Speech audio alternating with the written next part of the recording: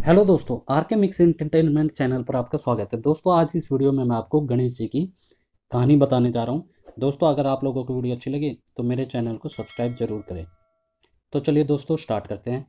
दोस्तों, एक दिन गणेश जी महाराज चुटकी में चावल और चम्मच में दूध लेकर घूम रहे थे कि कोई मेरी खीर बना दो। सबने मना कर दिया। तो एक बुढ़िया बोली, ला बेटा, मैं तेरी खीर बना दूँ। और वह कटोरी लाई। तो गणेश जी बोले कि बुढ़िया माई, कटोरी क्यों लेकर आई हो? टोप लेके आओ, बड़ा सा टोप वो होता है जो बर्तन होता है जिसमें बहुत बड़ा भगोना बोल देते हैं जिसे वो लेकर आओ। अब बुढ़िया माई बड़ा सा भगोना लेकर आई तो दूध से भर गया। जो उसने थोड़ा सा दूध डाला, वो दूध से भर गया। गणेश जी महाराज बोले कि मैं बाहर जाकर आता हूँ। जब तक तू खीर बनाकर तैयार रखना। खीर बनकर तैयार हो गई।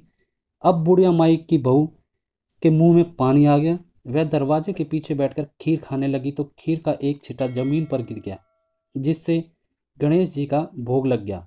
थोड़ी देर के बाद बुढ़िया गणेश जी को बुलाने ले, बुलाने गई।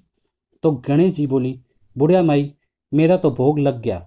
जब तेरी बहू ने दरवाजे के पीछे बैठकर खीर खाई तो एक छिटा ज़मीन पर पड़ गया था, सो मेरा तो भोग लग गया। तो बुढ़िया बोली, बेटा, अब इसका क्या करूँ? गणेश जी बोले, सारी खीर अच्छे से खा पी कर सबको बांट देना और बचे तो थाली में डालकर छीके में रख देना।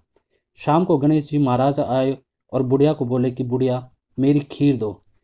बुढ़िया खीर लेने गई तो उस थाली में हीरे मोती हो गए। गणेश जी महाराज ने जैसा धन दौलत बुढ़िया को दिया, वैसा सबको दे। तो दोस्तों, उम्मीद करता हूँ आप लोगों को ये वीडियो अच्छी लगेगी वीडियो अच्छी लगी तो इसे लाइक करें, अपने सारे फ्रेंड्स ले लेते रिलेटिव हर जगह मैक्सिमम से मैक्सिमम शेयर करें। ताकि उनको भी गणेश जी की कहानी के बारे में पता चल सके। और कमेंट बॉक्स में आप लोगों को वीडियो कैसी लगी, ये बताना न भूलें। और दोस्तों, इसी के साथ यदि आप मेरे चैनल पर नए हैं तो सब्सक्राइब बटन को दबाकर मेरे चैनल को सब्सक्राइब करें और न्यू नोटिफिकेशंस के लिए बेल आइकन पर क्लिक करें ताकि आपको ऐसी ही वीडियोस टाइम टू टाइम और सबसे पहले मिल सके। धन्यवाद दोस्तों। जय हिंद।